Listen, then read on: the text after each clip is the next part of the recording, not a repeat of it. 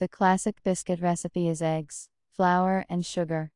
Did you know that you can make the most delicate and very soft cake for any cakes if you add mayonnaise and dry jelly extract to it? In a bowl with high sides, dry raw chicken eggs, crumble dry jelly in a briquette with your hands so that there are no lumps left, and add to the eggs. If desired, you can mash the jelly with a fork.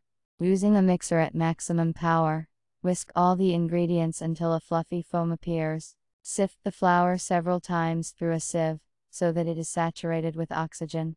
Then combine it with soda. Instead of soda, you can use baking powder.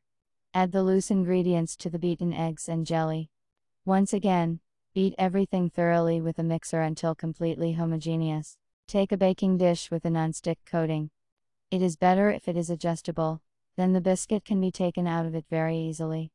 Bake the sponge cake in the oven preheated to 180 degrees 40 45 minutes. Check readiness with a wooden splinter.